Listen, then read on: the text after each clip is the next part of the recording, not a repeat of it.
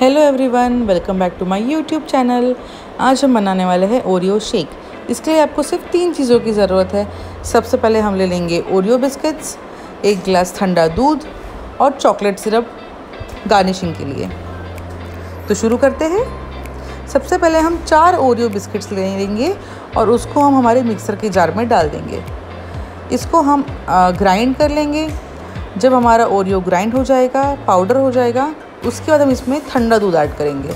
मैंने एक गिलास दूध दिया है। मिल्क ऐड करने के बाद हम इसको वापस ग्राइंड करेंगे। आपको इस बात का ध्यान रखना है कि आपका जो बिस्किट्स है और मिल्क है, वो अच्छे से मिल जाए आपस में और हमारा ओरियो शेक रेडी है। अब इसको हम सर्व कर देंगे ग्लास में। अगर आपका दूध ठंडा नहीं है, आप इसमें आइस क्यूब्स डाल सकते हो।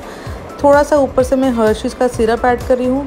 इससे थोड़ा डिस्टिंग फ्लेवर आता है उसमें। अच्छा लगता है चॉकलेटी अब हम एक बिस्किट ले लेंगे ओरियो का, इसको क्रश कर लेंगे।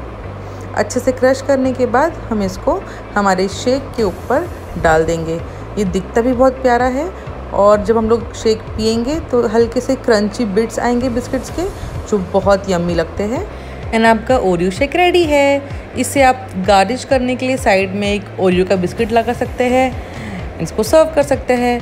आई होप आपको मेरा वीडियो पसंद आया हो। प्लीज़ मेरे चैनल को सब्सक्राइब कीजिए, ये वीडियो को लाइक कीजिए, एंड शेयर कीजिए। Bye bye.